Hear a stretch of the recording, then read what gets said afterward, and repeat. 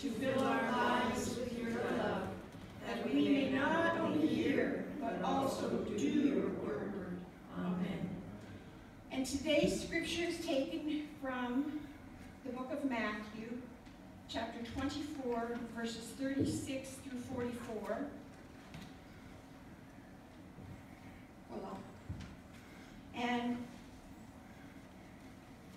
no one knows about that day or hour, not even the angels in heaven, nor the Son, but only the Father. As it was in the days of Noah, so it will be at the coming of the Son of Man. For in the days before the flood, people were eating and drinking, marrying and giving in marriage, up to the day Noah entered the ark. And they knew nothing about what would happen until the flood came and took them all away. That is how it will be at the coming of the Son of Man. Two men will be in the field, one will be taken, and the other one left. Two women will be grinding with a hand mill. One will be taken and the other left. Therefore, keep watch, because you do not know on what day your Lord will come. But understand this, if the owner of the house had known at what, at what time of night the thief was coming, he would have kept watch and would not have let his house be broken into. So you also must be ready, because the Son of Man will come at an hour when you do not expect him. Thanks be the word of the Lord, the word of God for the people. You may be seated. So there are these two guys standing on opposite sides of the river. And one guy says to the other one from across the river, goes, Hey, hey, I need you to help me get to the other side of the river. And the guy on the other side of the river goes, You're already on the other side of the river.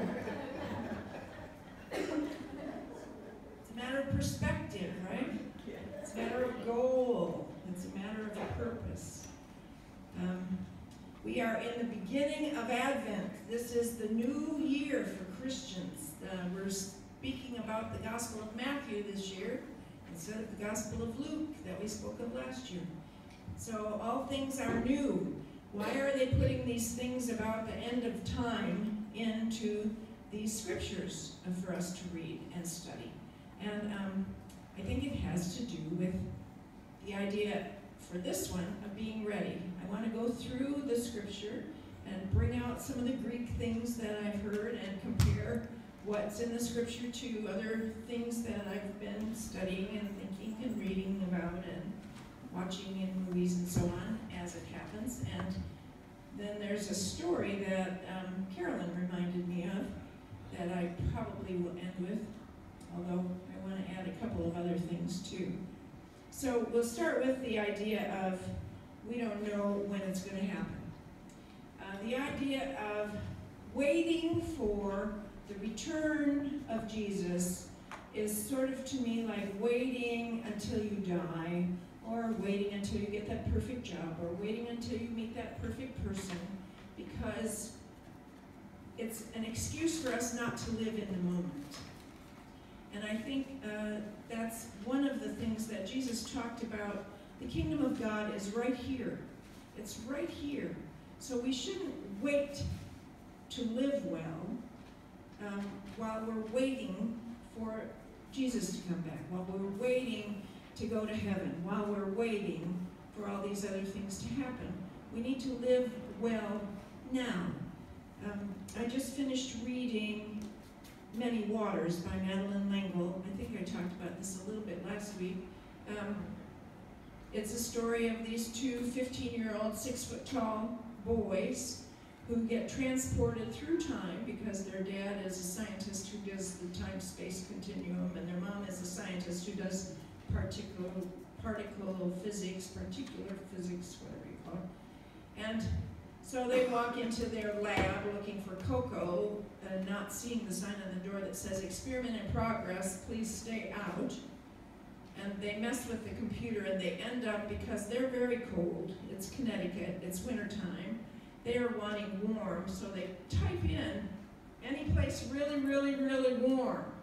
And they end up back before the flood in Noah's time, when the earth was just being formed and there were volcanoes everywhere and there were no rivers to speak of, and if there were, they were underground, and they get lost. And one of the boys goes to this bunch of people that don't feed him, that don't feed each other, that fight and argue and drink too much and throw him into the garbage dump. And the other one lands with this family that takes care of him. And they end up getting together again. But the idea is that while they're waiting for the flood to happen, the boys know about the flood because they've read scripture a little bit. They've heard this story before. And they're worried because one of the kids of Noah is a girl. And she's not mentioned in the story of the flood in scripture. And so they worry about her and they try and figure out how to take care of her. And there's seraphim and nephilim and there's manticores, which are human and lion and scorpion. And there are mammoths that are the size of little poodle dogs. And there are unicorns that come in and out. I mean, and, and I should say Madeleine L'Engle was an Episcopalian woman who every day of her life worshiped did a worship service in the morning and a worship service in the evening in her home. She sang a song and said a prayer and looked at a piece of scripture and thought about it and took communion for herself and whoever was with her. Um, so she's a very religious woman, is what I'm trying to say. So I noticed when I read this that it talks about well, they were married and given in marriage, and, you know, basically, people just lived their lives. And if they were good people, they were good people, and if they were bad people, they were bad people. And I want you to notice that when the flood came, and the Greek for flood is cataclysm. It doesn't say flood, it says cataclysm. When this cataclysm happened, it swept everybody away except for the people who were good to one another except for the people who were nice to one another, because the family that took in the kid that took care of him, that was Noah's family. So they took care of each other. They honored one another, even if they were from different backgrounds. The daughters-in-law were all different backgrounds. They honored and respected one another and cared for and looked after one another, and they survived. And the daughter survives too. You have to read the story. I don't want to spoil that for you. So that's the first piece. Then the second piece of the scripture is this um, taken and left thing. And it doesn't say men and it doesn't say women. It says two are in the field, one is taken, one is left. Two are grinding corn, one is taken, one is left. Now, the words for the Greek for taken could be kidnapped. Taken could be kidnapped. Taken could be taken prisoner. Taken is what they said when they took people from Israel to Babylon. They took them, and it was the same kind of word. And the word for left is aphiemi. Aphiemi, which D. Mark Davis translates as forgiven. But it's really, let it go. Let it go. The, um, when the children come to Jesus and the disciples shoo them off, and Jesus says, "Aphiemi! let the children come to me, for such belongs the kingdom of heaven. And when the woman anoints him with oil before his time of passion, it's in all four Gospels. It's from different perspectives in all four Gospels. But when the disciples in three of the Gospels say, hey, that ointment could have been spent for a year's wages and we could have fed a lot of hungry people, Jesus says, Aphiemi. Aphiemi. What she's doing is so important that when my story is told, this act will be told too. at the end of his life on the cross, he makes a loud cry, and the word is aphiemi. It is finished. I'm letting go. Father, into your hands I commend my spirit. So the idea is the taken people could be taken into prison. The left behind people could be forgiven. Have all their sins washed away. Be able to start over. The next part is um, where Jesus says, you know, if people knew when the thief was coming, they'd be more prepared. Well, I don't know how many of you saw, but a, a week ago, there was this 82 year old woman. Did you see that? 82 year old woman, somebody broke into her house to steal from her. She threw a table at the guy. She squirted dish soap in his face. She beat him with a broom. The policeman saved him from her. She's 82. They had a picture of her. She has muscles. Oh my gosh. Like like the Sistine Chapel, you know, God's muscles and the Sistine, that lady had those muscles. But that's the idea, see. I think we need to be prepared in the ways that we can be prepared. Last week I told a story about a farmer who hired a boy to help him, and the boy's recommendation was that he could sleep through a storm. And the farmer said, well, that's kind of weird, but I'll hire him anyway. And it turned out that was a good recommendation. Jesus did it in a ship one time. He was sleeping and there was a huge storm. And the disciples said, wait a second, we're dying. What are you doing? Sleep, get up, do.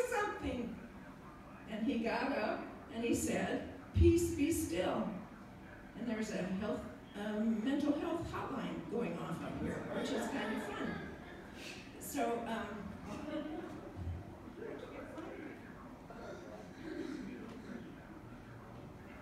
did you push your button that they're going to come into your house and take you to the hospital?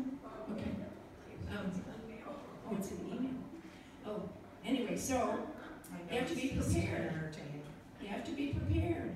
I'm very um, unfocused most of the time, so you see things distract me easily.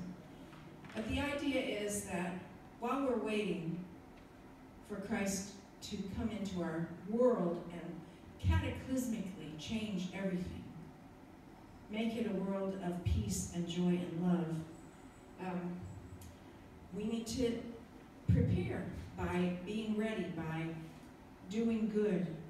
There's a beautiful thing that John Wesley said a long time ago. Do all the good you can, by all the means you can, in all the ways you can, in all the places you can, at all the times you can, to all the people you can, as long as ever you can. These are words for always, but especially at the beginning of the Christian year in um, Advent. And then there's this song, No More Lives Torn Apart. I woke up singing this song this morning. That wars would never start and time would heal all hearts. Everyone would have a friend, that right would always win, and love would never end. This is my grown-up Christmas list. It's a beautiful song. Um, Amy Grant and Carrie Underwood, no, somebody um, sing it on YouTube. It's lovely. My daughter played it after uh, when we were decorating her Christmas tree the day after Thanksgiving. A couple weeks ago, this was in the paper. Um, it's by Woody Woodburn, Stories That Will Lift Your Spirits. Okay, so um, uh, he writes this column and he said that he wants to, um, okay, I'll just read the whole thing. My late mentor and longtime steward of this space, Chuck Thomas, believed in taking the day off now and again and filling his column with words borrowed from others. In the spirit I hear, uh, in this spirit, here are three stories I read recently that I hope will lift your spirits as they did mine. Christine Turai, uh, who works at an independent bookstore, shared this encounter. Middle of the day, this little old lady comes up. Then this college kid comes up in line behind her. She turns around to him and out of nowhere demands that he put his textbooks on the counter. He's confused, but she explains that she's going to buy his textbooks. He goes, sheet rock, sheet rock white. Sheet rock white. He refuses and adamantly insists she can't do that. It's like $400 worth of textbooks. She, this tiny old woman, boldly takes them out of his hands, throws them on the counter, and turns to me with an intense stare and tells me to put them on her bill. The kid at this point is practically in tears. He's confused and shocked and grateful. Then she says, You need chocolate. She starts grabbing handfuls of chocolates and puts them in her pile. He keeps asking her, Why are you doing this? She responds, Do you like Harry Potter? and throws a copy of The New Cursed Child on the pile, too. Finally, she's done, and I ring her up for a crazy amount of money. While I'm bagging up her merchandise, the kid hugs her. She turns to both of us and says, probably one of the most profound, unscripted things I've ever had someone say. It's important to be kind. You can't know all the times that you've hurt people in tiny, significant ways. It's easy to be cruel without meaning to be. There's nothing you can do about that, but you can choose to be kind. That's story number one. This is the second one. This came from a Facebook post by the Pay It Forward Effect. As I was pulling into work, I was following this car. The sign in the back window says, Learning stick, sorry for any delay. Knowing this information, I was very patient with their slow shifting. Then I asked myself a tough question. Would I have been just as patient if the sign hadn't been there? I can almost definitely say no. We don't know when someone is going, what someone is going through. We don't wear signs that illustrate our personal struggles we don't see signs taped to people's shirts that say, going through a divorce, or lost a child, or feeling depressed, or diagnosed with cancer. But we shouldn't have to see signs and have reasons to treat strangers with kindness. We should do it anyway, whether we know what is going on or not. Like Carolyn was talking about those crazy drivers. I think of that all the time too. Number three, a brief essay by Danusha Lamaris, titled Small Kindness Echoes the Wisdom Above. I've been thinking about the way when you walk down a crowded aisle, people pull in their legs to let you by, of how strangers still say bless you when someone sneezes, a leftover from the bubonic plague, don't die, we are saying, and sometimes when you spill lemons from your grocery bag, someone else will help you pick them up. We have, we know we have so little of each other now. So far from tribe and fire, only those brief moments of exchange. What if they are the true dwelling of holy, these fleeting temples we make together when we say, Here, have my seat. Go ahead, you first. Or, I like your hat. By the way, Teresa, I like your hat. Carolyn reminded me of a story, and so I'll close with this. Um, boy was going home from school one day, high school, and there was this kid walking with just a ton of books, and three other kids ganged up on him and started beating him up and throwing his books around and stuff. So this other kid came up and said, Stop that! What are you doing? And chased the other guys away and helped the kid pick up his books and walked him home. And they found out they lived about a block from each other. They'd been there for since they were little, but they didn't know each other. And so there started a friendship. Well, the kid who had all the books, um, he kind of blossomed under this friendship, and he he got in different clubs and he joined different ball teams and ended up being the valedictorian of the class. And as he was giving his valedictorian speech, he said, I want to thank my friend. Because the day we met, I was taking all my books home so that when I killed myself, my mom wouldn't have to go to school and empty out my locker. But because I knew somebody cared for me, then I began to live my life. Now, we're in the season where all kinds of wonderful things happen, and yes, they should happen all year, and they don't, generally. But I want to ask us to try and do one random act of kindness every day. Even if it's just picking up a piece of trash on the sidewalk. Even if it's just smiling at somebody that you don't know when you walk by them. Even if it's like Carolyn turning around and going in front of somebody instead of behind them and just saying hello. I've, I've had people who are uh, homeless and I'll speak to them and one guy, I said, you know, I don't have any money. He said, that's okay because you've been talking to me like I'm a real person and that hasn't happened to me in over a year. So during this time, in the midst of all this craziness, let's remember to be ready and to use God's perspective.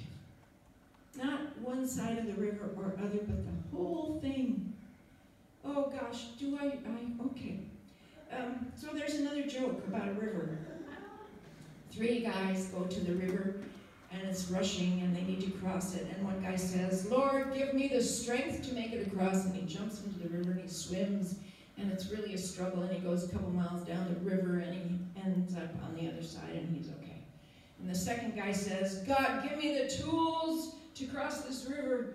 And so all of a sudden there are planks there and hammer and nails and, and tar and he builds a boat and he goes across the river.